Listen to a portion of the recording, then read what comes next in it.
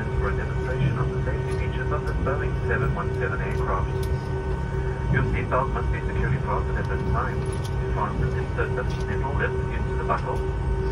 Tighten by pulling on the strap so it's low and tight across your lap. To release, just lift the top flap off the buckle.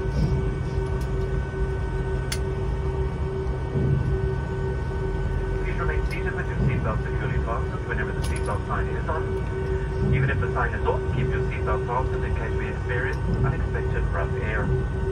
Federal regulations require all customers to comply with crew member instructions, posted placards, and especially lighted information signs. Smoking, vaping, and the use of e-cigarettes or any smokeless product, including chewing tobacco, is not allowed on any Delta flight. Federal law prohibits tampering with, disabling, or destroying restroom smoke detectors.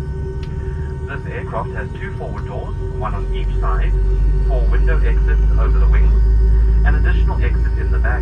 The forward doors are equipped with detachable slides that can be used for flotation.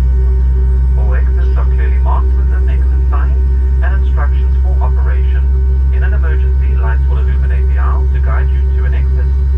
Please locate your closest exit and remember it may